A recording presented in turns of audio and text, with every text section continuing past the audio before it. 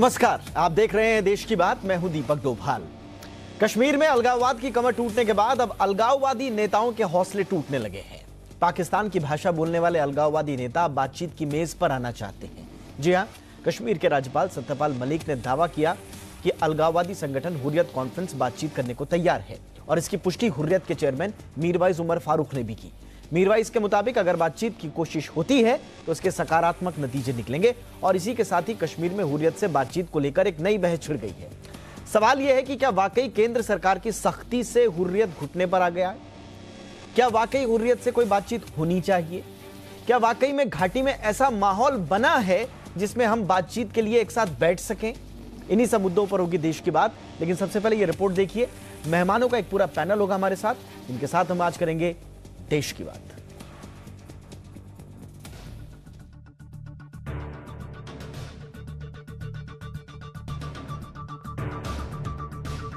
जो अलगाववादी हिंदुस्तान में रहकर पाकिस्तान का राग अलापते थे, जो अलगाववादी देश के दुश्मनों की मौत पर मातम मनाते थे, जो अलगाववादी देश के टैक्स पेयर्स के पैसों पर आराम की ज़िंदगी जीते थे उन अलगाववादियों पर मोदी सरकार ने सख्ती का ऐसा चाबुक चलाया कि अब वो त्राहिमाम कर रहे हैं।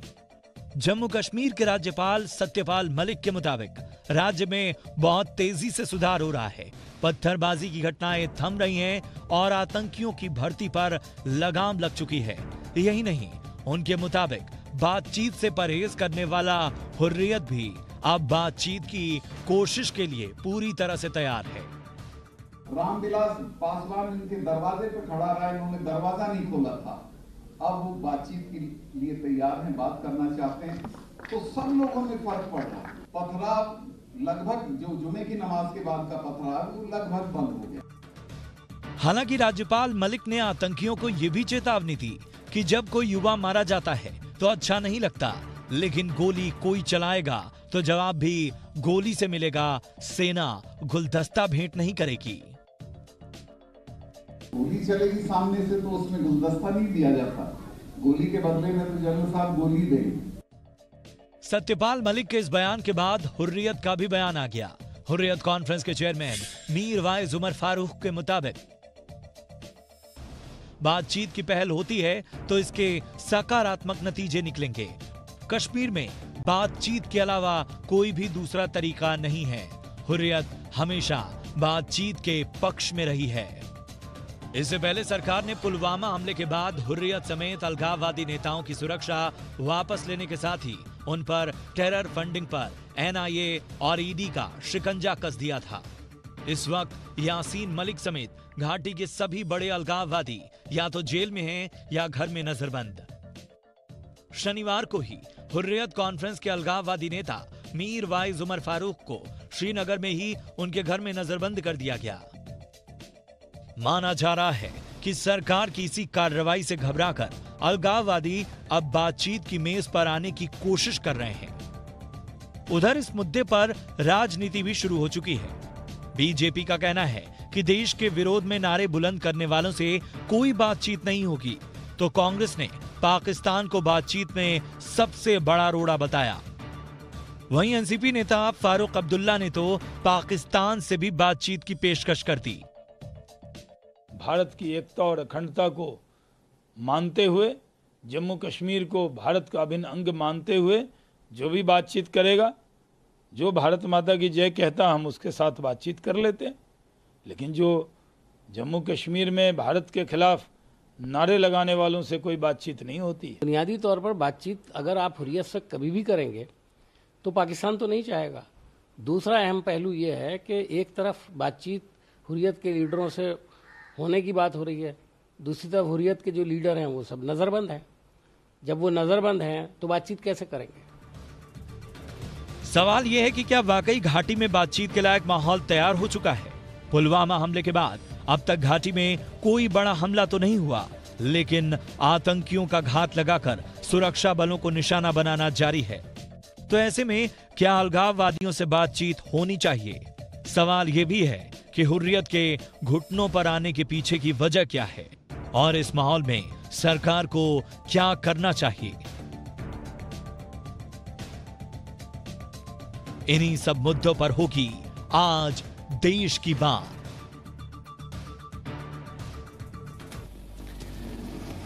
चलिए तो इन्हीं मुद्दों पर होगी आज देश की बात और इस महत्वपूर्ण चर्चा पर बातचीत करने के लिए इस वक्त हमारे साथ मेहमानों का एक खास पैनल है। सबसे पहले आपका परिचय करा देते हैं। हमारे साथ हैं ताहिर सैयद साहब, जो कि प्रवक्ता हैं पीडीपी के। ताहिर जी बहुत बहुत स्वागत है आपका। हमारे साथ है अमित रैना, जो कि प्रवक्ता है रूट्स इन कश्मीर के।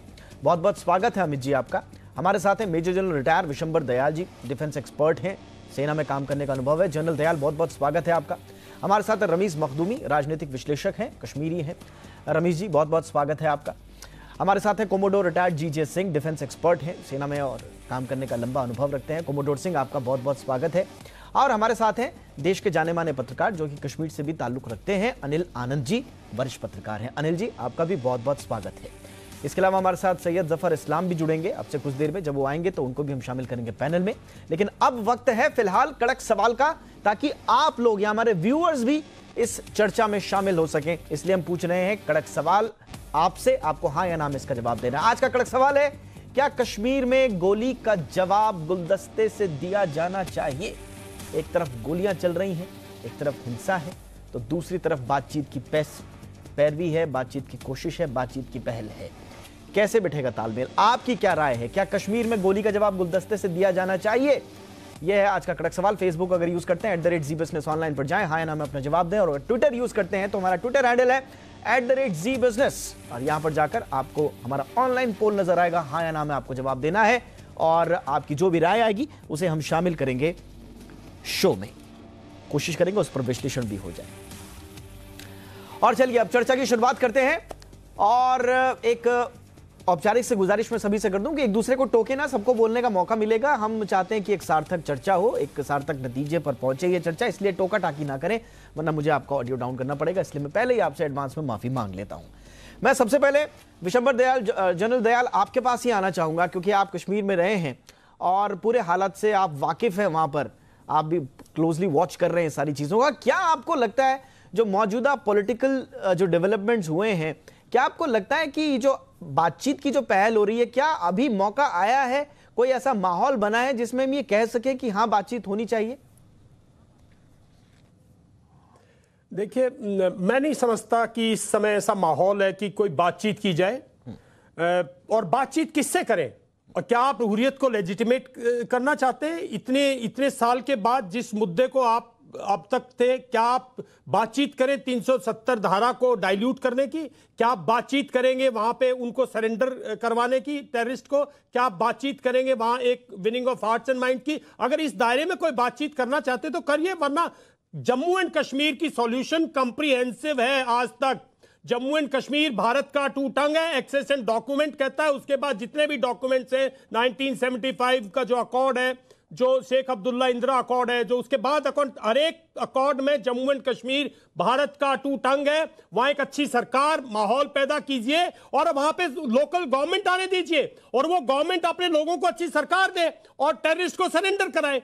मुद्दा तो ये है ना कि वहाँ पे टेररिज्म है और टेररिज्म बात करने से नहीं जा सकता। लोग कहते हैं बंदूक से नहीं जाएगा मैं कहता हूँ बात करने से नहीं जाएगा। हाँ अगर आप हुरियत को लेजिटिमाइज करेंगे तो और इसको आप दायरे को जो आपने आज तक सेक्रीफाइसेस दिए आप उसको डाइल्यूट करेंगे। इसलिए अभी माहौल नहीं है।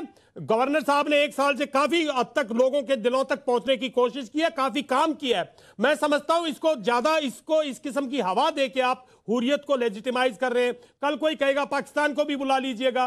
अरे, भारत का अंग है, भारत में वहाँ अभी इलेक्शन हुआ है, वहाँ मेंबर ऑफ़ पार्लियामेंट है कॉन्स्टिट्यूशन के तहत पार्लियामेंट है, उन्होंने शपथ ली है। तो आप उसके दायरे में काम कीजिएगा। चलिए सैयद ज़फ़र इस्लाम साहब हमारे साथ जुड़ चुके हैं। जी जनरल दयाल मैं आऊँगा आपके पास। ज़फ़र इस्लाम हमारे साथ जुड़ चुके हैं। ज़फ़र साहब ज़फ़र साहब बहुत बहुत स्वागत है आपका और आपका स्वागत हम एक कड़क सवाल से कर रहे हैं। अभी अभी जो विशंबर दयाल साहब ने जो उठाया है उन्होंने साफ़ साफ़ कहा है कि आप पहले ये तो बताएँ कि क्या घाटी में बातचीत का माहौल है? और अगर आप बातचीत की बात कर रहे हैं गवर्नर साहब अगर बातचीत की बात कर रहे हैं वो भी हुर्रियत की बात को एंटरटेन कर रहे हैं तो ये लेजिटिमाइज करने जैसा हो गया। क्या कहेंगे आप इस पर?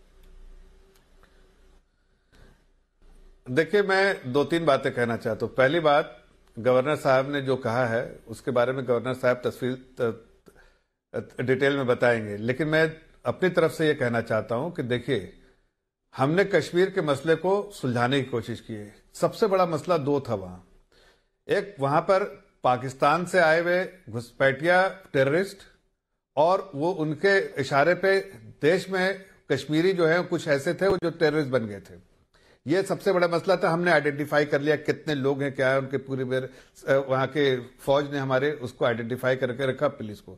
हम उनको न्यूट्रलाइज कर रहे हैं। बहुत साफ़ तरीके से बोल रहा हूँ, हम उनको न्यूट्रलाइज कर रहे हैं। आप रोज सुनते होंगे, इतने को ढेर लगा, इतने को ढेर लगा, इसलिए कि ये टारगेटेड लोग हैं और इनको न्यूट्रलाइज करना है। इन्हीं वजह से कश्मीर में अमन का माहौल नहीं आ रहा। दूसरी बार एक हुरियत हुरियत को हमने एनआईए के थ्रू, हमने बिल्कुल उनको जिस तरह से वो सरकारी मुआवजे में जी रहे थे, पहले हमने उन पर कड़ी सख्ती की और सख्ती की वजह से आज हुरियत की कमर टूट गई है। यहाँ पर मसला यह है कि हम सिर्फ़ एक ही चीज़ कहते हैं कि देश के कानून के हिसाब से, देश के संविधान के हिसाब के दायरे में within the framework of the constitution Kashmir के लोग अगर बात करना चाहते हैं तो हमने पहले भी उसका स्वागत किया था, लेकिन कॉन्स्टिट्यूशन विद इन द मैं तो पूछता हूँ, क्या हरियत ने इस बात को तस्लीम कर लिया कि भाई उसको सिर्फ़ देश का आइन देश का जो संविधान है उसको मानने लगे हैं? पहले तो ये सबसे बड़ा सवाल है। ये, ये अगर अगर ज़फ़र भाई जो राज्यपाल महोदय ने किया मेरा स्पेसिफिक क्वेश्चन था ज़फ़र भाई। बात करूँ? ज़फ़र भाई मेरा स्पेसिफिक क्वेश्चन था जो राज्यपाल महोदय ने कहा है और एक मरतबा नहीं कहा है वो कई बार इस बात को कह चुके हैं। वो कह रहे हैं कि हुरियत बातचीत के लिए तैयार है।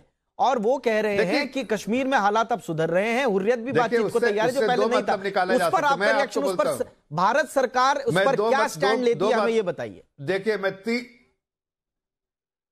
मैं देखिए भारत सरकार अपना स्टैंड बताएगी लेकिन मैं दो तीन बात ज़रूर कहूँगा। पहली बात कि हुर्रियत की कमर टूट गई इसकी निशानदेही इसका सिग्नल बहुत साफ़ है। दूसरी बात कि जिसने जो क्राइम किया है हुर्रियत के लोगों ने जो भी कश्मीर में रह के वहाँ पर जो भी गलत काम किया है देशद्रोही का या भी अलग काम किया है उनको उसका भुगतान करना पड़ेगा सजा उसको झेलनी पड़ेगी। तीसरी बात within the constitutional framework हर कश्मीरी से हम बात करने के लिए पहले भी तैयार थे आज भी तैयार है। इसलिए कि देखिए आप पहले भी देखिए जब रामविलास पासवान जी गए थे बड़ा डेलीगेशन गया था वो बात करने के लिए उन्होंने अपने दरवाजे बंद कर दिए थे या लोगों ने मिलने से इनकार कर दिया था। आप कह रहे हैं से बातचीत में कोई दिक्कत नहीं है। कि हम अपने अपने नहीं मैं कह रहा हूँ कि पहले हुरिया से पूछिए उनको देश का देश का संविधान उनको एक्सेप्टेबल है कि नहीं? क्या अभी भी वो पाकिस्तान के इशारे में उछलते कूदते रहते हैं। वो तो कह रहे हैं। टूटने के बाद वो तो कह रहे हैं कि बातचीत अगर हो तो उसके सकारात्मक नतीजे निकलेंगे। क्या बातचीत को तैयार है भारत सरकार जो, जो राज्यपाल महोदय ने किया? देखिए बातचीत अगर होगी तो उसके उस नहीं बातचीत अगर होगी हम्म। तो उसका उसके बारे में जो होम मिनिस्ट्री या राज्यपाल जी बाद में उसके डिटेल बताएँगे। मैं इसके बारे में अभी टिप्पणी नहीं करूँगा लेकिन मैं ज़रूर कहूँगा कि कोई भी बातचीत होगी तो within the constitutional framework में होगा। All right within constitutional framework होगी। ये बीजेपी का स्टैंड रहा है। बहुत सारे बीजेपी के वरिष्ठ प्रवक्ता हैं और खुद ज़फ़र इस्लाम साहब भी यही बोल रहे हैं कि जो कॉन्स्टिट्यूशनल फ्रेमवर्क में बातचीत होनी चाहिए लेकिन अनिल आनंद जी सरकार और पार्टी में ये जो डिफरेंसेस नज़र आ रहे हैं ये क्यों नज़र आ रहे हैं बातचीत को लेकर? या या मेरे को ये ऐसा लग रहा है कि डिफरेंसेस हैं आपको नज़र नहीं आ रहे हैं? पहले तो थोड़ा सा ये समझाने की कोशिश कीजिए ये बातचीत को लेकर बीजेपी और सरकार में डिफरेंसेस नज़र क्यों आ रहे हैं? देखिए मुझे हैरानगी नहीं है ये डिफरेंसेस कह लीजिए या पब्लिक परसेप्शन को एक अलग अलग तरीके से देखने की कवायद कह लीजिए।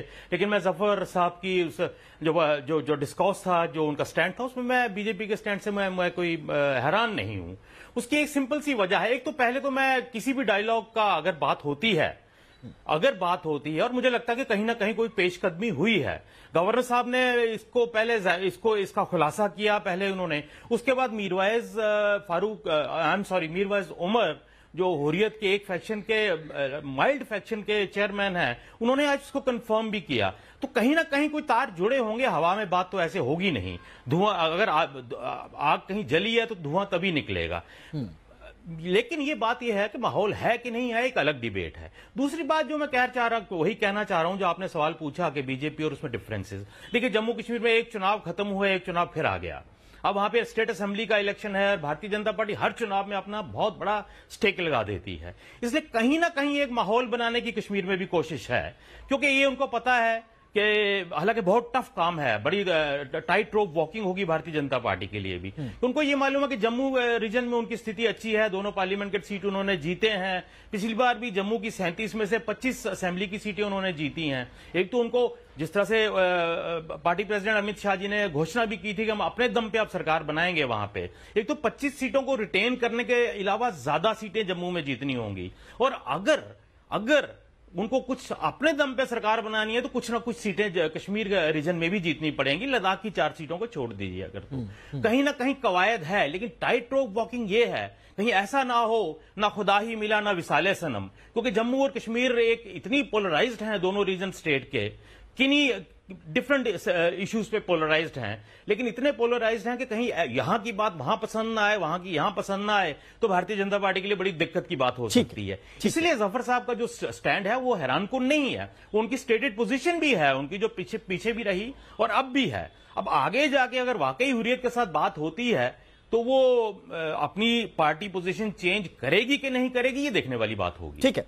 अमित रैना, आपका आपका टेक इस पर क्या है? नंबर वन क्या वाकई में घाटी में ऐसा माहौल है कि राज्यपाल महोदय ये कह पाए कि हुर्रियत तो बातचीत के लिए तैयार है और एक तरह से एक रूम खोलने की, एक स्पेस देने की जो जो जो कोशिश की जा रही है, जो हमें समझ में आ रहा है। क्या उसका मौका अभी है? क्या वो वक्त आया है? क्या वो माहौल बन पाया है कश्मीर में? देखिए, बातचीत तो कभी भी हो सकती है। हालात कैसे भी रहते हों। मगर बात ये कि आज हुरियत बातचीत के लिए तैयार क्यों है? क्योंकि उनकी कमर टूटी हुई है। गिलानी साहब की तबीयत ठीक नहीं है। पब्लिक इंट्रैक्शन उनकी ज़ीरो है। जो जेएलआर करके जॉइंट लिस्ट लीडरशिप है तीन लोगों की, यासिन मलिक जेल में हैं और मुझे नहीं लगता बाहर आने वाले हैं और बचे हैं मीरवाए जो थोड़े बहुत सॉफ्ट है। उन पर भी केसेस हैं बाकी हुरियत वालों पर भी केसेस हैं। तो ये आज एक बचाव का तरीका है हुरियत का। मुझे नहीं लगता कि उनका इंटेंशन है आ, मसला सुलझाने का आईएसआई उनको वो करने नहीं देगा। तो आज एक तरीका है आ, अपनी कमर बचाने का सरकार के कहर से बचने का और कोई तरीका नहीं। जहाँ तक बात है बातचीत हुरियत से करने की मैं जनरल साहब से बिल्कुल आ,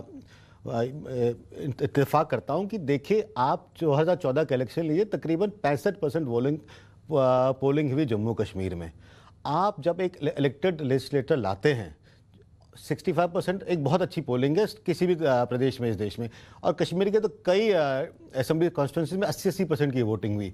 तो आप लेजिस्लेचर को ही वैलिड रिप्रेजेंटेशन मानेंगे लोगों का ना कि एक अलगाववादी संगठन का। आप आज हुरियत है हुरियत 27 लोगों की कॉन्ग्लोमेट है तीन लोग बात करेंगे 24 लोग कहेंगे भैया हम इसके हक में नहीं है। आप कितने लोगों से बात करेंगे? तो आपको बात सिर्फ़ इलेक्टेड रिप्रेजेंटेटिव से ही करनी पड़ेगी। उसके अलावा और कोई सोल्यूशन है नहीं इसका। आप इलेक्टेड रिप्रेजेंटेटिव सरकार नुमाइंदा होती है लोगों की उसके अलावा और कोई नुमाइंदा नहीं होता। अगर हुरियत को लगता है कि वो लोगों के रिप्रेजेंटेटिव हैं भारत के आईन में विश्वास रखें भारत के संविधान में विश्वास रखें और इलेक्शन लड़े और प्रूव करें कि वो लोगों के रिप्रेजेंटेटिव हैं। नहीं तो चिल्लाने से गोलीबारी से बम फेंकने से आप नुमाइंदे नहीं बन जाते लोगों के। लोग आज त्राही त्राही कर रहे हैं कश्मीर में। लोग खुश हैं कि मोदी सरकार वापस आई है। डर ज़रूर है उनको कि आ, मोदी सरकार टफ डिसीजंस लेगी और इससे शायद हालात खराब हो सकते हैं। मगर साथ साथ उनको यह भी उम्मीद है कि अगर ये हालात कोई सुधार सकता है तो मोदी सरकार ही सुधार। सकती है। यानी आप और मोदी सरकार और इलेक्टेड गवर्नमेंट ही इसको सोल्यूशन दे सकती है। आप आप अलगाववादियों किससे बात करेंगे आप? यासीन मलिक जो एयरफोर्स ऑफिसर्स की किलिंग में बंद है। तो आप उससे बात करेंगे कि कश्मीर का मसला कैसे हल हो? आप अ, शबीर शाह से बात करेंगे जो मनी लॉन्ड्रिंग में बंद है। आप गिलानी से बात करेंगे जो जिनका सुना है मानसिक संतुलन अभी ठीक नहीं है मुझे नहीं पता बट खबर तो यही आ रही है आप किससे बात करेंगे? आपको बात करनी पड़ेगी इलेक्टेड रिप्रेजेंटेटिव से जो लोगों के नुमाइंदे हैं। Exactly exactly. हम इस पर भी बात करेंगे। दरअसल असली स्टेक होल्डर कौन है जिससे बातचीत की जाए इस पर हम अगले सेगमेंट में ज़रूर बात करेंगे। लेकिन ताहिर सैयद साहब, मैं अब आपके पास आना चाहूँगा। अगर वाकई में अलगाववादियों का ये जो जिसको अमित रैना ने एक सॉफ्ट धड़ा कहा है, अगर वाकई में इससे बातचीत में गवर्नर साहब या गवर्नमेंट इंटरेस्टेड है और अगर बातचीत हो जाती है तो वहाँ पर तो कई पॉलिटिकल पार्टीज़ की दुकान ही बंद हो जाएगी, इसमें तो पीडीपी भी शामिल है, क्योंकि इस पर फिर राजनीति कैसे कर पाएँगे आप लोग?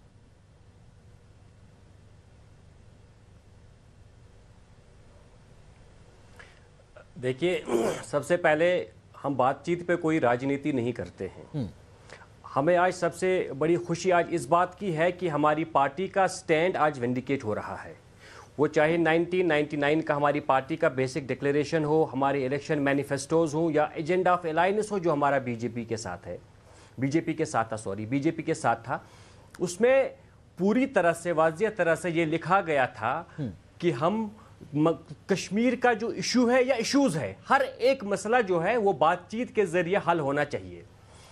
महबूबा जी जब चीफ मिनिस्टर थी वो इलेक्टेड चीफ मिनिस्टर थी। अभी शायद अमित रहना जी बात कर रहे थे कि इलेक्टेड रिप्रेजेंटेटिव से बात होनी चाहिए या वो क्या कहते हैं? देखिए महबूबा जी जब यहाँ पे थी तो वो एक इलेक्टेड चीफ मिनिस्टर थी। तो वो फ्लोर ऑफ़ द हाउस वो जब बात कर रही थी तो वो जम्मू कश्मीर के लोगों की तरफ़ से बात करती थी। वो हमेशा से आपको ये कहती थी कि बातचीत के ज़रिए ही मसले का हल होगा आप बातचीत कीजिए। हमें खुशी है कि आज हुरियत ने अपना स्टैंड जो है वो थोड़ा सॉफ्ट किया है और सबसे बड़ी खुशी इस बात की है कि बीजेपी ने भी आज अपना जो स्टैंड जो है वो सॉफ्ट किया हुआ है। इससे पहले जब हम बीजेपी के प्रवक्ता को सुन रहे थे तो वो कह रहे थे कि किसी तरह की कोई बातचीत ही नहीं होगी। चलिए ठीक बात है आज संविधान के अंदर की अंदर में रहकर भी बात करने के, के लिए तैयार हैं। हम कहते हैं कि बातचीत होनी चाहिए कहीं ना कहीं से एक स्टेप से ही सही। ये बातचीत का आगाज़ होना चाहिए। देखिए हम यहाँ जम्मू कश्मीर के रहने वाले हैं। हम कश्मीर घाटी में यहाँ रहते हैं। हमें मालूम है कि हम पर कितनी मुसीबतें हैं कितनी परेशानियाँ हैं।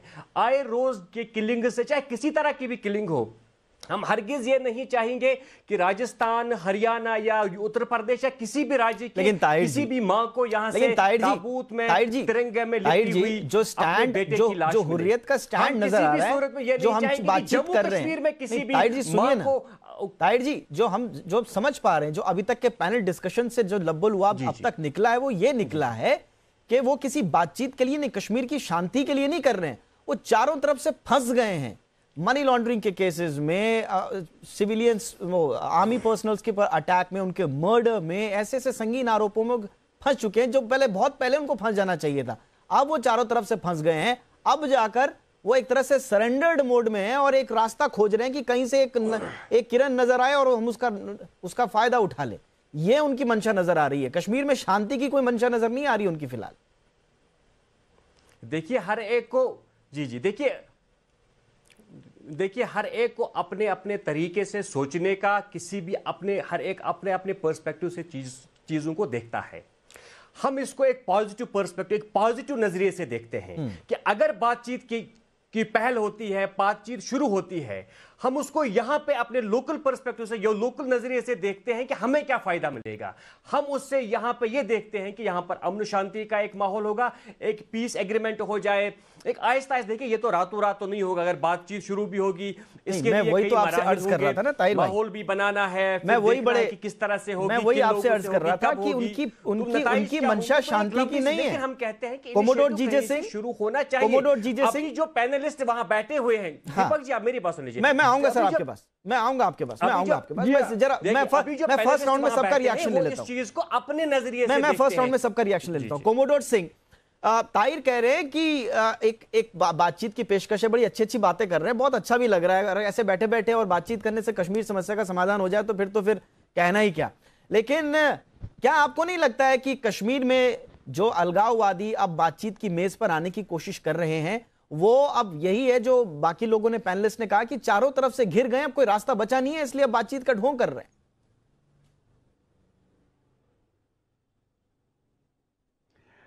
दीपक, इसमें देखिए दो तीन चीज़ें आती जो मुझे समझ में आ रही हैं। पहली बात तो ये आती है कि अगर कश्मीर के गवर्नर सत्यपाल मलिक जी ने कहा है कि बातचीत की जो बात चलाने की बात है, इसके ऊपर उन्होंने कोई पॉजिटिव इंडिकेशन दी है। तो इसका एक मतलब तो ये है कि उनके कहीं ना कहीं तार जुड़े हैं। और साथ में उनको होम मिनिस्ट्री से, खास करके अमित शाह जी जी से हरी झंडी दिखाई दी है कि ये बातचीत का भी आप रास्ता देखिए। क्योंकि जो हमारे होम मिनिस्टर हमारी गवर्नमेंट नई गवर्नमेंट उसमें नई सोच क्योंकि टाइम बदल चुका है पाँच साल अभी हमने निकालने हैं।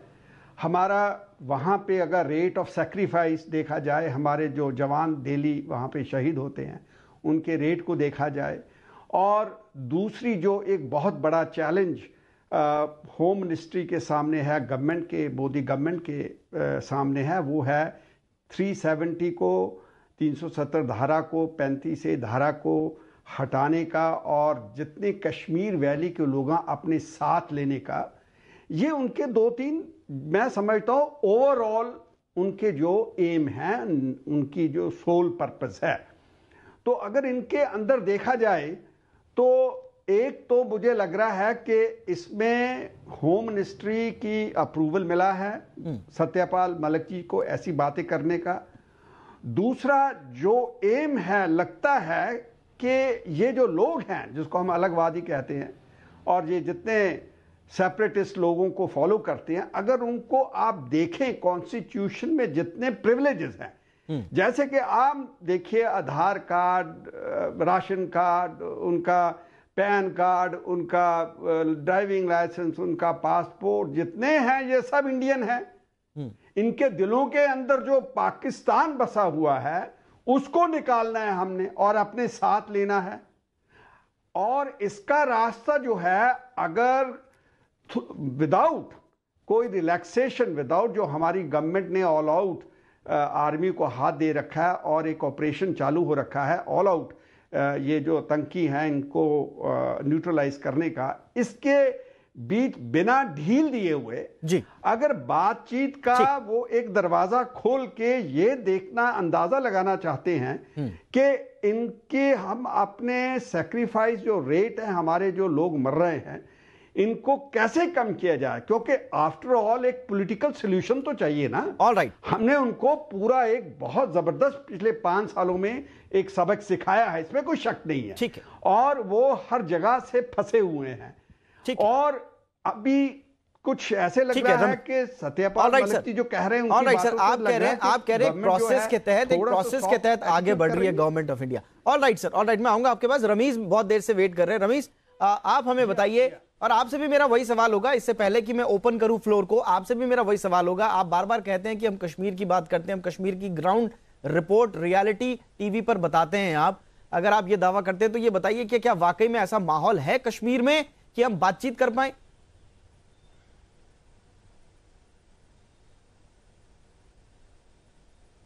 जी देखिए यहाँ पर सभी पैनलिस्ट ने कुछ अहम पॉइंट्स बताए और सार्थक बातें की। ये अच्छी बात है कश्मीर पे का गंभीर मुद्दा है तो बात सार्थक ही होनी चाहिए। अब मैं दो तीन पॉइंट्स एक अहम कहूँगा हमारे जी बिज़नेस के दर्शकों के लिए। पहले जब से गवर्नर सत्यपाल मलिक जी आए हैं, इन्होंने कुछ स्ट्रांग बातें कही हैं और सच बातें कही हैं। जैसे कि इन्होंने कहा कि युवा दहली से काफ़ी अलग सोचता है। जैसे इन्होंने सोचा कि मोतू का सिलसिला बंद होना चाहिए और जिस फ़ंक्शन में मैं भी था एज जर्नलिस्ट एस के में इन्होंने कहा कि अब हुरियत से बात होनी चाहिए। अब समझने की दो तीन बातें हैं। कश्मीर का एक अनफॉर्चुनेट ट्रेजिडी रही है, चाहे वो कश्मीरी हो, भारत सरकार हो या इवन पाकिस्तान की सरकार भी हो। हमें बिना डर के ये बात कहनी चाहिए कि कश्मीर में जब भी कोई पार्टी पोजिशन ऑफ़ स्ट्रेंथ में आती है तो वो समझती है कि वो आप बात नहीं करेंगे। कल को अगर हुरियत 20 लाख का क्राउड लाती है आज़ादी के हक में, वो कहेंगी, मुझे भारत सरकार के साथ बात नहीं करनी है। आज भारत सरकार को लग रहा है कि उनकी गन का पलटा बारी है, वो बात नहीं करेंगे। ऐसा ही पाकिस्तान का हाल है। कश्मीर में ऐसी बात होनी चाहिए पोजिशन ऑफ़ रियलिज्म से बात होनी चाहिए। पोजिशन ऑफ़ स्ट्रेंथ से नहीं बात होनी चाहिए। दूसरी बात, आप छोड़िए नेशनलिज्म रिलीजन को हिंदुइज्म इस्लाम की डिबेट से बाहर निकलकर हमें यह सोचना पड़ेगा कि जिसका गवर्नर सत्यपाल मलिक ने भी दबे लफ्जों में काफ़ी बार माना है कि लोग युवा मिलिटेंसी की तरफ़ जा रहे हैं रोज तीन तीन चार एनकाउंटर में मारे जा रहे हैं और कभी सैनिक भी जवाबी फायरिंग में मारे जा रहे हैं। तो गर्ज ये है कि दस साल के बाद अगर पूरा कश्मीर कहीं खुदा ना खास्ता कब्रिस्तान बन गया वो तो भारत सरकार के खुद हित में नहीं होगा। चाहे कश्मीर का कुछ भी परस्पेक्टिव हो पाकिस्तान का कुछ भी इस कब्रिस्तान को बनने से रोकना पड़ेगा। और एक और अहम बात जब नागांव मेरा सीधे सीधे जवाब तो क्यों नहीं देते वरिष्ठ पत्रकारों ने सुनिए ना आपके नहीं आपका भाषण बहुत देर से मैं सुन रहा हूँ। नहीं मुझे यहाँ नागांव ने बात की थी पासपोर्ट की। कश्मीर समस्या पर मुझे आपका भाषण नहीं सुनना है। आप तो बीच में पाकिस्तान को भी ले आ रहे हैं। पाकिस्तान का कोई स्टेक तो है नहीं इसमें। आप ज़बरदस्ती पाकिस्तान घुसाने की कोशिश कर रहे हैं। मेरा आपसे सीधा टू द पॉइंट ये है ग्राउंड रियलिटी क्या है? क्या कश्मीर में बातचीत के हालात है इस वक्त की नहीं? ये वो आपकी सरकार ने माना है। मेरा मैंने जी जब जी जब मोतू का सिलसिला इस उफान पे हो तो बातचीत के बगैर कोई रास्ता हमारे पास नहीं बचा है। या हम या कश्मीर पूरा खत्म हो जाएगा या बातचीत होनी चाहिए? ठीक है ठीक है okay. General Dayal. General Dayal. देखिए दीपक जब भी आप कहते हैं ना कि बातचीत होनी चाहिए बात करेंगे तो भारत सरकार और हम एक, एक मुद्दा देते हैं कि इसका मतलब कोई ना कोई मुद्दा है वहाँ बात करने के लिए। एक तरफ़ हमारा स्टैंड बहुत क्लियर है कि जम्मू एंड कश्मीर हमारा अटूट अंग है। एक तरफ़ हमारा मुद्दा बहुत स्ट्रांग है कि accession of document completely India के उसमें है। एक तरफ़ हमारा हक है कि हमने जम्मू एंड कश्मीर में उतनी ही प्रॉस्पेरिटी और प्रोग्रेस की कोशिश की है जितनी बाकी स्टेट्स में। अगर कोई मुद्दा है तो उस पर बातचीत करने के लिए कौन है? मुद्दा है, वह टेररिस्ट है। क्या हुरियत रिस्पॉन्सिबिलिटी लेती है कि वो टेररिज्म चला रही थी और वो टेररिज्म छोड़ेगी और वो सरेंडर करवाएगी? क्या हुरियत जिम्मेवारी लेती है कि उसने कश्मीरी पंडित को भगाया था और वो वापस लेगी? क्या हुरियत जिम्मेवारी लेती है कि लोगों को उसने भड़काया था भारत के खिलाफ और वो अब लोगों को भारत के हक में करेगी? Winning of hearts and minds का मुद्दा है। पाकिस्तान को एक करारा जवाब मतलब जो कि बिल्कुल पाकिस्तान इंटरफेरेंस बंद कर दे जम्मू एंड कश्मीर। मुद्दा है ये मुद्दा बातचीत का मुद्दा नहीं है। माहौल बनाइए सरकार बनाइए। वो सरकार प्रांत को ऐसे चलाए जैसे बाकी चलाते हैं। अगर आपको 370 डाइल्यूट करना है तो हाँ मुद्दा है। अगर आपको 35 से डाइल्यूट करना हाँ मुद्दा है। वरना और अभी कोई कह रहे थे कि पता नहीं वो कॉन्स्टिट्यूशन के तहत बात करेंगे या नहीं करेंगे। जो इस देश में, इस देश के कॉन्स्टिट्यूशन या इस देश की उससे बात नहीं करना चाहता, वो इस देश का नागरिक नहीं है, उसको पैकअप करो भाई, उसको भेज दो जहाँ जाना है। इस देश में किसी को भी इस देश के संविधान के खिलाफ या उस संविधान के बाहर बात करने का किसी किस्म की कोई लेजिटिमेसी नहीं है। जो ऐसी बात करता है उसको पहले बोलिए आप पहले भारत छोड़िए और जाइएगा। क्योंकि भारत का कॉन्स्टिट्यूशन भारत के कॉन्स्टिट्यूशन के तहत रिकग्निशन दी है। हमने 370 रिकग्नाइज किया। डाइल्यूट करना तो हम करेंगे। हमने वहाँ पे 1964 में सदर रियासत रियासत सब खत्म किया। हम करेंगे। हमने वहाँ शिमला अकॉर्ड के बाद एक अकॉर्ड किया जो कि शेख और और इंदिरा गांधी का था। वो कंप्रीहेंसिव है। बात करने को कुछ नहीं है। बात करने को मुद्दा है टेररिज्म कौन चला रहा है फंड कौन कर रहा है कौन सरेंडर कराएगा उसका कौन जिम्मेदार है? ठीक है।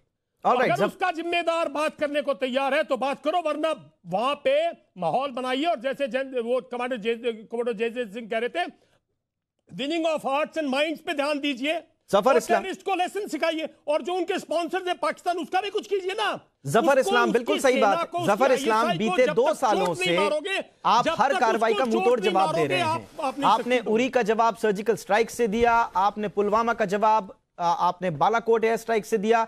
आपने वहाँ पर टेररिस्ट को न्यूट्रलाइज किया है। आपने टेररिस्ट को दिया। नहीं साहब नहीं नहीं नहीं। हाँ। नहीं दीपक मैं हाँ। वही नहीं मानता आप लोगों के साथ। हाँ। आपने पाकिस्तान को जवाब नहीं दिया ना।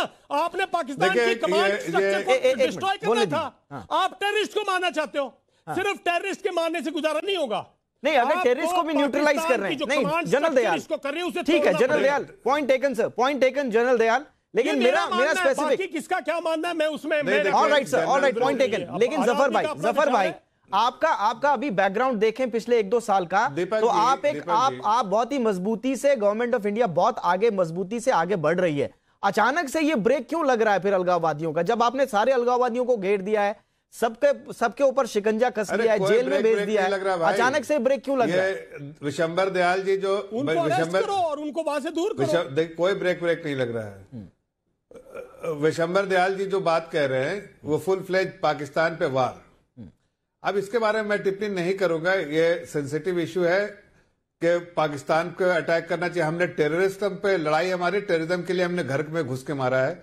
अब पाकिस्तान को पे अटैक भारत सरकार ने क्लैरिटी दी है कि भाई पाकिस्तान के किसी आर्मी इंस्टॉलमेंट पे इंस्टॉलेशन पे हमने कोई अटैक नहीं किया था।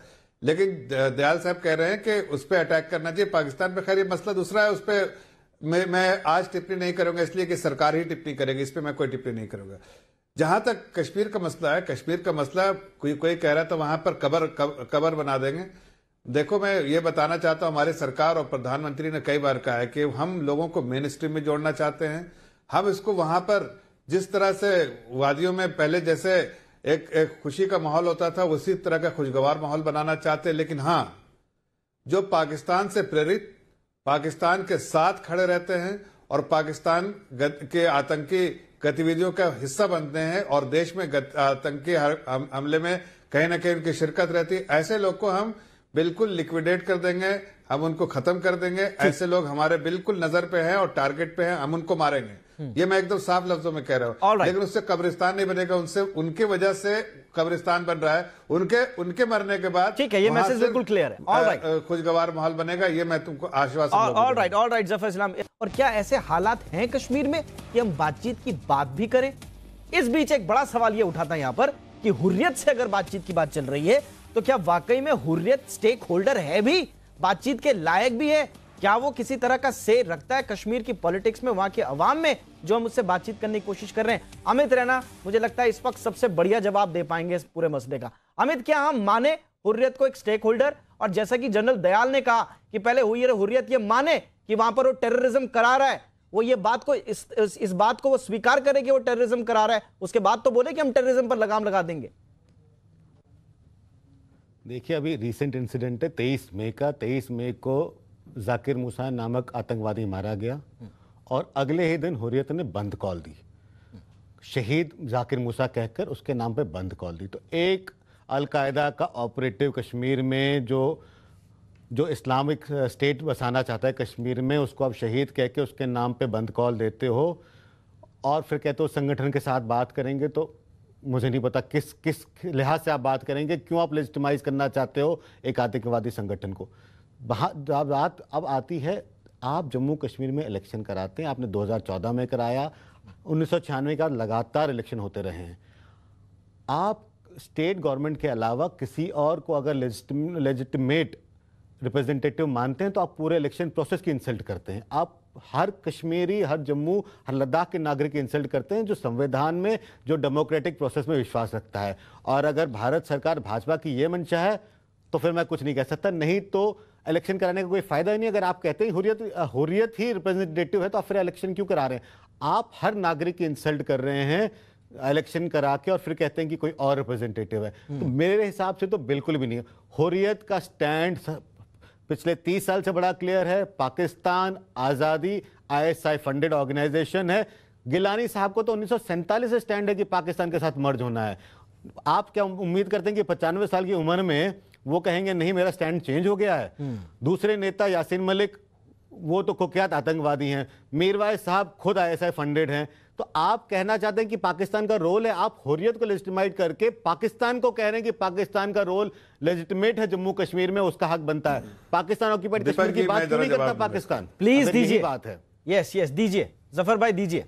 इस जवाब इस सवाल का जवाब तो बनता है इसको देना ही पड़ेगा आपको जवाब। अभी मैं मैंने विशंबर दयाल जी को भी सुना था और इस इस मसले पे और अभी इनको भी सुन रहा, रायना जी को भी। दोनों को मैं ये क्लैरिफिकेशन देना चाहता हूँ कि सरकार ने कोई अभी इस तरह से कोई इंडिकेशन नहीं दिया है। ठीक है, गवर्नर साहब ने बोला उसके बारे में इसलिए कि पिछले एक साल में जिस तरह से हमने वहाँ कामयाबी हासिल की है, जिस तरह से हमारा पूरा प्लान जो है एग्जीक्यूट किया है, उससे ज़ाहिर है, हुरियत जैसी ऑर्गेनाइजेशन की कमर टूट गई है। आतंकवादियों का हमने जिस तरह से ठिकाने लगाया है, वो भी आपके सामने है, आंकड़े दिखते हैं साफ़ साफ़ और जो हमने आपको पहले बोला कि हमारे पास लिस्ट भी है आतंकवादी संगठन से जुड़े हुए, जो पाकिस्तान के शहर पे यहाँ पर उस गतिविधियों में इन्वॉल्व हैं, उन लोगों को भी हमने बिल्कुल साफ़ नज़रों में देखा और हम एक एक उसको लिक्विडेट कर रहे हैं। लेकिन सबसे पहला सवाल जो मैंने पूछा था, उस सवाल का जवाब देने वाले कोई है नहीं यहाँ पर। मैं ये पूछना चाहता हूँ, चाहे कश्मीरी भाई यहाँ पर हो। हमने कहा कि वहाँ कबर नहीं बनाना चाहते, वहाँ तो वादियों में पुल खिलाना चाहते लेकिन उन लोगों को ज़रूर लिक्विडेट करना चाहते हैं जो लोग देश के हित में नहीं सोचते और देश के खिलाफ काम करते हैं। तो देश देश द्रोहियों को हम ज़रूर ठिकाने लगाएँगे। लेकिन क्या आज हुरियत, जो कांग्रेस के समय बड़े आसानी से, हर तरह से फलते फूलते थे, आज कहीं उनकी कमर टूटती हुई दिख रही है। इसलिए वो बोल रहे हैं, ये वाकई हम देश के संविधान और आइन और जो कॉन्स्टिट्यूशन ऑफ़ इंडिया नहीं ज़फ़र भाई इस पर तो हम ये इस पर तो हमने बातचीत बड़ा की सवाल है है और कि इसलिए वो चारों तरफ़ से घिर गए। नहीं तो ये सवाल का अभी अभी पहले देखिए बात तो हम बात हमने कहा है हमने बराबर कहा है कि कश्मीरियों के हक में कश्मीरियों के ओके ओके अब दो दो प्रधानमंत्री ने कहा दो है कश्मीरियों के हाथ उठ में लाना रहे हैं। चाहते हो दोनों कश्मीरियों के मैं चाहूँगा आप जब जवाब जो कि देश के कानून के हिसाब से अमित रैना अमित रैना अमित का सवाल लेंगे इस बार करेंगे, मखदूमी जी का जवाब लेंगे सवाल लेंगे लेकिन पहले अमित अमित के बाद बाल को देखिए यासीन मलिक के अरेस्ट के बाद भारत सरकार ने होम मिनिस्ट्री का स्टेटमेंट है। उन्होंने कहा कि जो कश्मीर में हुआ कश्मीरी पंडितों के साथ खासकर वो एथनिक क्लेंजिंग था जेनोसाइड था। ये ऑफिशियल स्टेटमेंट है आ रहा हूँ रमीज आपके पास आ रहा हूँ। उसके बाद आपने बालकोट बालकोट में आपने अटैक किया और आपने मिनिस्ट्री ऑफ़ एक्सटर्नल अफेयर्स का स्टेटमेंट आया कि जो कश्मीर में पाकिस्तान कर रहा है वो जिहाद है। उस जिहाद को कश्मीर में फैला रहा है हुरियत। आप चाहते हैं कि आप उससे बात करें जो जिहाद इस्लामिक स्टेट एस्टेब्लिश करना चाहता है भारतीय जनता पार्टी ने अगर एडमिट किया भारत सरकार ने अगर एडमिट किया जो कश्मीर में हुआ वो जेनोसाइड है कश्मीरी पंडितों के साथ तो सबसे पहला कदम होना चाहिए तो उस जेनोसाइड को रिवर्सल करने का उस एथनिक क्लेंजिंग को रिवर्स करने का। वो प्रयास मुझे नहीं दिख रहा। अगर आप कहते हैं वहाँ जिहाद है भारत सरकार कहती है वहाँ जिहाद है तो आप जिहादियों से बात नहीं कर सकते क्योंकि दुनिया में जिहादियों से बात करके कोई मसला सॉल्व नहीं हुआ आपको एलिमिनेट करना ही पड़ेगा। दस सेकंड में ज़फ़र भाई इसका जवाब दीजिए फिर मैं रमीज मखदूमी का सवाल लूँगा। बार बार जिस सवाल का जवाब मांग रहे हैं मैंने तो कहा कि हमने सरकार ने कोई ऐसी मंशा अभी तक जताई नहीं है।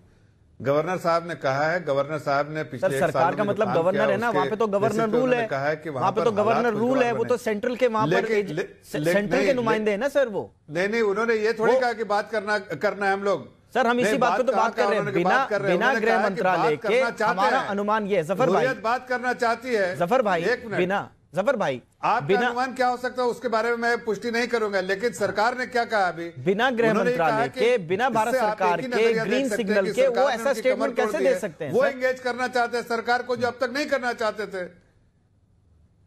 नहीं नहीं वो देखिए सरकार को वो एंगेज नहीं करते थे इसलिए आप रामविलास पासवान जी जब गए तो उन्होंने दरवाजे बंद कर दिए अपने खोले भी हम्म। नहीं आज वो खुद से चाहते बात करना मतलब इससे समझ में आ रहा है। कि सरकार की नीति वहाँ काम कर रही है। और जो हम चाहते हैं वहाँ अमन का माहौल हो बाकी कश्मीरियों के लिए जो 98 परसेंट कश्मीरी जो देश के साथ जुड़े हुए हैं मेन स्ट्रीम में रहना चाहते हैं कहीं ना कहीं इस आतंकवादी गतिविधियों की वजह से वो सफ़र कर रहे हैं।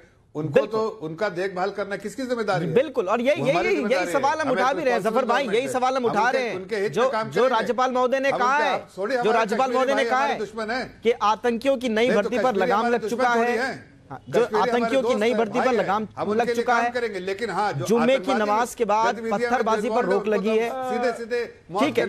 ठीक है। घाट उतारेंगे ये हमने पहले कहा है। All right all right Rameez Rameez. Deepak. मैं आऊँगा सर आपके पास। रमीज बहुत देर से हाथ उठा रहे हैं। रमीज जी, दीपक। देखिए मैं आऊँगा आऊँगा, देखिए मैं कोई मैं कोई जी जी जी। जी मैं को, मैं कोई लंबा चौड़ा भाषण नहीं करूँ करूँगा। Please, हाँ। ये लिखा है भगवत गीता में भी कि सच्चाई और तथ्यों का खून करके आगे नहीं बढ़ा जा सकता है। अब मैं मुद्दे पे आता हूँ। ठीक है अगर ज़फ़र भाई या कमोडोर जीजे सिंह या जनरल बिशंबर दाल मैं एक मिनट के लिए मानता हूँ ये हंड्रेड परसेंट फैक्ट है और हम जो बताते हैं वो सच नहीं है। ठीक है मैंने वो भी माना।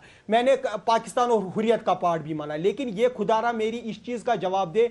ये ये कैसी बातें हैं? नेशनल इन्होंने खुद कहा, ये आप पीछे नहीं हट सकते कि इलेक्टेड गवर्नमेंट का एक मान्य है स्टेट गवर्नमेंट का एक तथ्य है, उनके साथ बात होगी। ठीक है, आपका ये पॉइंट भी मैंने माना, बात उन्हीं से होगी।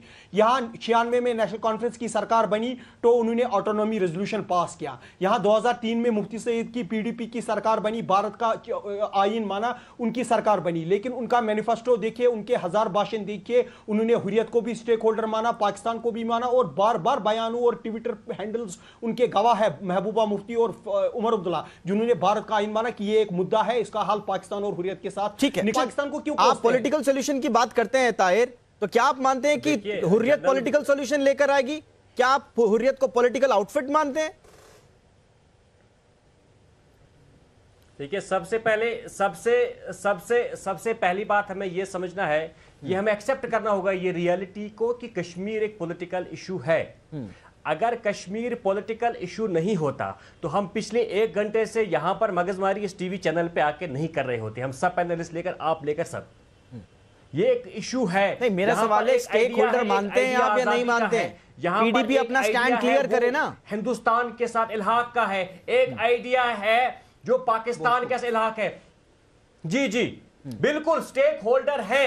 बिल्कुल स्टेक होल्डर है। मैं इसीलिए आपको गिन रहा हूँ यहाँ क्या क्या आइडियाज़ हैं। वो एक आइडिया को रिप्रेजेंट कर रहे हैं। आप माने या ना माने हम उसको माने या ना माने हमारी जमात जो है वो we are a mainstream political party लेकिन हम भी मानते हैं कि उनका एक आइडिया है। हम उनके आइडिया से सहमत नहीं हैं। लेकिन उनका एक आइडिया है उनसे बात करनी पड़ेगी वो दायरे सर तो से बात यही तो यही तो जनरल दयाल शुरू से कह रहे हैं कि आप उनके आइडिया को ये दोगुनी बातें मत कीजिए ना सर। आप उनके आइडिया को नहीं मानते आप जानते हैं कि उनके दामन में खून लगा हुआ है। जनरल दयाल बिल्कुल का पहले उन्होंने दीपक जी दीपक जी दीपक हाँ। जी पहले दीपक जी आप मुझे बात करने दें। नहीं आप आप क्लियर कीजिए आप स्टैंड क्लियर करिए। ये मैं आप पॉलिटिकल सॉल्यूशन की बात कर रहे हैं आप पॉलिटिकली करेक्ट आंसर देंगे और बच जाएँगे ऐसा नहीं होगा ताहिर भाई। आप सही किस चीज़ पे? साफ़ साफ़ सीधी बात बोलिए। या अगर आप उनको अगर आप उनको स्टेक होल्डर्स मान रहे हैं तो आप आप उनके आप दामन में लगे हुए खून को भी लेजिटिमाइज कर रहे हैं। आप ये भी कर रहे हैं कश्मीरियों के कत्लेआम के लिए जितना हुरियत जिम्मेदार है उतना कोई नहीं है सर। आप उनको भी लेजिटिमाइज कर रहे हैं यहाँ पर। कश्मीर में यहाँ पर किसी का दामन दीपक जी दीपक जी दीपक जी यहाँ पर किसी का दामन साफ़ नहीं है। यहाँ पर हर एक के दामन पर कश्मीरियों के खून के दब्बे हैं। यहाँ पर हर एक के जो यहाँ पर मारा गया है उनके खून के दब्बे हैं। आप किसी को साफ़ नहीं बता सकते हैं। यहाँ पर यहाँ पर यहाँ पर हमारे यहाँ आज बस्तियों से ज़्यादा कब्रिस्तान आबाद है। जनरल जवाब कौन देगा? जिन्होंने जनरल दयाल शुरू किया जिन्होंने आतंकवाद को बढ़ावा दिया जिन्होंने आतंकवाद का के काम जिन्होंने चालीस हज़ार लोगों के जनरल दयाल साहब कत्लेआम कराए। बात कर रहे हैं। जिन्होंने हमारा जनरल genocide हुआ, जनरल दयाल नहीं नहीं नहीं नहीं रमीज से बात नहीं करेंगे आप। बात करें कौन सा इस तरह से बात नहीं मुसलमानों का करेंगे जेनोसाइड हुआ है ये ये इस तरह से बात नहीं करेंगे। यहाँ पे मुसलमानों का जेनोसाइड हुआ है ये बात चलेगी। यहाँ पे मुसलमानों का जेनोसाइड हुआ है। यहाँ पे मुसलमानों का जेनोसाइड हुआ है भाषण के लिए नहीं है ये बात मत कहिए। यहाँ पर कह एक लाख मुसलमान मारे गए। ये रमीज का जेनोसाइड डाउन है आप गलत ऑडियो डाउन कीजिए। अगर स्टेक है तो पीओके का एक एक स्टेक है उसकी बात कीजिए। एक एक करके। सबकी बात सुनेंगे एक एक करके। कोमोडोर कोमोडोर सिंह देखिए दीपक। हाँ okay all right all right general Dayal general Dayal please continue हाँ देखिए दीपक देखिए, एक एक ऐसी ऑर्गेनाइजेशन है। जिसने। टेररिज्म को किया। General general Dayal general Dayal please मैं आ रहा हूँ कोमोडोर सिंह आपके पास आ देर रहा से वो बोले नहीं है कमो- कम, बात कीजिए commodore J J commodore Singh please continue sir उनका कोमोडोर। सिंह हाँ हाँ यस देखिए दीपक मैं आपको देखिए हमें थोड़ा सफ़ाई से सोचना चाहिए। गवर्नमेंट की कोशिश जो मेरी समझ में आ रही वो ये है कि सांप भी मर जाए और सोटी भी ना टूटे। 370 भी हम हटा दें 35 भी हटा दें टेररिज्म को खत्म कर दें। ये हमारा एम है। ये नई गवर्नमेंट का नई सोच है। अमित शाह जो सत्यपाल मलिक जी का जो इशारा है वो इसी तरफ़ है। थ्रस्ट इसी तरफ़ है जिसको हम कहते हैं। मगर मुझे आप ये बताइए कुछ पॉलिटिकल एनालिस्ट ये बात करनी शुरू कर देते हैं कि इलेक्टेड मेंबर से बात करें। अरे भाई इलेक्टेड मेंबर्स जो हैं उनका टेररिज्म के साथ कोई मतलब ही नहीं है। मतलब जो है, वो वो लोग हैं जो प्रो पाकिस्तान हैं एंटी इंडिया है, और एजेंट्स ऑफ़ आईएसआई हैं। वो सेपरेटिस्ट है, अलगवादी हैं जलानी और पार्टी के आदमी हैं। अगर हम, अबे, अभी हम, ये बात जो है, हमारी गवर्नमेंट को डिफेंस को, सबको साफ़ नज़र आती, कौन है वहाँ पे? हमने आइडेंटिफाई कर रखा है कि हमारे दुश्मन कौन है, कौन हमें तकलीफ़ पहुँचा रहा है। तो अभी बात ये आ जाती है कि टेररिज्म को फैलाने वाले जो स्टेक होल्डर वो तो यही लोग हैं ना। अगर आप इससे बात नहीं करेंगे कंस्ट्रक्टिव तो फिर बात मुझे आप ये बताइए किससे करेंगे? आप उन मेंबर से करेंगे जो जिनका लेना देना नहीं है? वो तो पहले ही साथ में है और हर जो प्रॉब्लम होती है उसके अंदर पाँच या दस परसेंट ही लोग होते हैं। कुछ हैंडफुल होते हैं जो जो काम करते हैं। और वो हमें आइडेंटिफाई कर रखा है हमने। हम हमको यानी कि आप कह रहे हैं कि उनसे भी बातचीत ज़रूरी है। मूवमेंट क्या है? यहाँ बंदूक से आगे कैसे जाना है? वो गवर्नमेंट बंदूक की कोशिश नहीं कर सकते। वो हमारी हैं बंदूक उठाई ठीक है। हाँ जी। तो आप कह रहे हैं कि देश में जिसकी मैं- बात नहीं सुनी जाती उसको बंदूक उठानी चाहिए। बंदूक उठाई है उससे। बात होगी। उसका जवाब दे रहे हैं हैं। टेररिज्म को। ठीक है। देखिए अनिल जी, अनिल जी, right, देखिए, all right, अनिल- अनिल जी, बहुत देर से- अनिल- अनिल जी। बंदूक का जवाब okay general Dayal general Dayal दस सेकंड उसके बाद में अनिल जी के पास जाना है। All right sir all right general Dayal अगर हम जनरल दयाल और इनसे जनरल दीपक आपने कमर तोड़ रखी देखिए दीपक देखिए दीपक जो लोग ये कहते हैं ना कि पाकिस्तान के खिलाफ कुछ मत करो वो ये पाकिस्तान की वही बात कह रहे हैं जो पाकिस्तान कहता है कि नॉन स्टेट एक्टर्स हैं। मैं नहीं मानता। Jammu and Kashmir non state actor sponsored terrorism नहीं है। पाकिस्तान स्पॉन्सर्ड टेररिज्म है।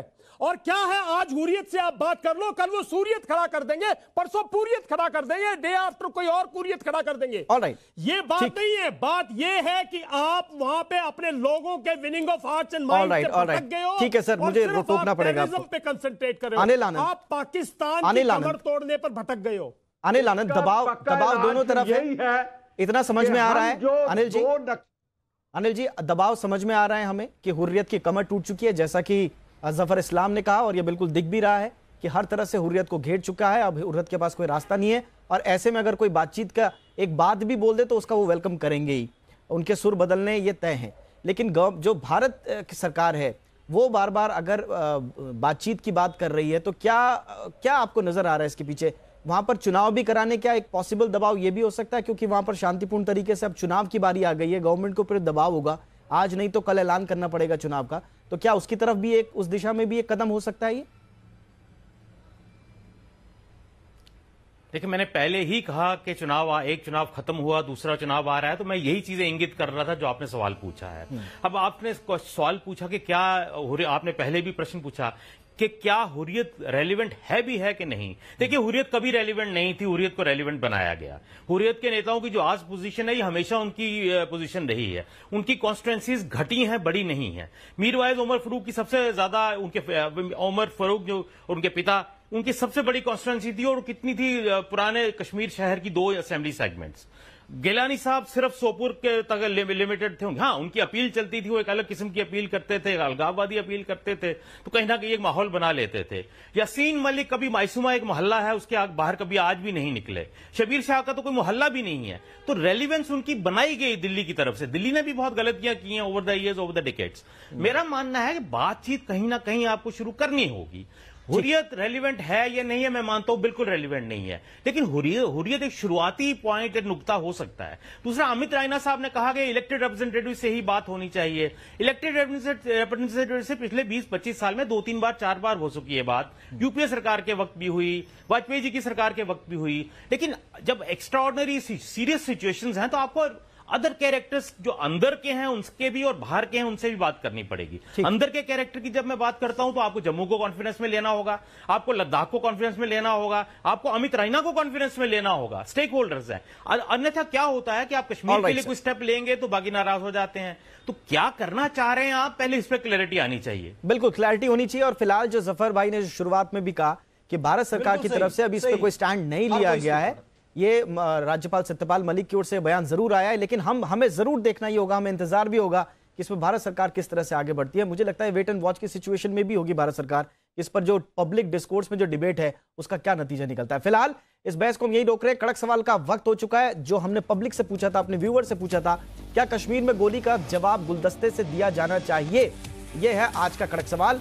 बयानवे फ़ीसदी लोग कहते हैं कि नहीं गोली का जवाब गुलदस्ते से नहीं, गोली का जवाब गोली से ही होना चाहिए, जैसा सत्यपाल मलिक ने आज कहा। और सिर्फ़ आठ फ़ीसदी लोग ऐसे हैं जो कहते हैं कि गोली का जवाब गुलदस्ते से अगर दिया जाए तो फिर शांति की एक उम्मीद बंध सकती है। ये हमारे व्यूवर्स की राय थी। इसी के साथ हम ज़फ़र इस्लाम साहब, आपका बहुत बहुत शुक्रिया। ताहिर सैयद, आपका बहुत बहुत शुक्रिया। अमित रैना जी, आपका शुक्रिया। जनरल दयाल, आपका बहुत बहुत शुक्रिया। रमीज मखदूमी, आपका भी बहुत बहुत शुक्रिया। कोमोडोर सिंह आपका बहुत बहुत शुक्रिया। अनिल आनंद जी, आपका भी बहुत बहुत शुक्रिया इस डिबेट में शामिल होने के लिए। तो कुल मिलाकर देखना यह होगा इसमें भारत सरकार किस तरह से आगे कदम बढ़ाती है, क्योंकि ये मसला फ़िलहाल अभी बातचीत का नहीं, बल्कि पूरे कश्मीर के एक सॉल्यूशन पर आकर अटक गया है। और इसका जल्द से जल्द एक समाधान निकले, ऐसे उम्मीद करते हैं। इसी के साथ देश की बात में आज हमारे साथ जुड़ने के लिए आप तमाम दर्शकों का भी बहुत बहुत शुक्रिया। देश और दुनिया की बाकी खबरों के लिए आप देखते रहिए जी बस। नमस्कार।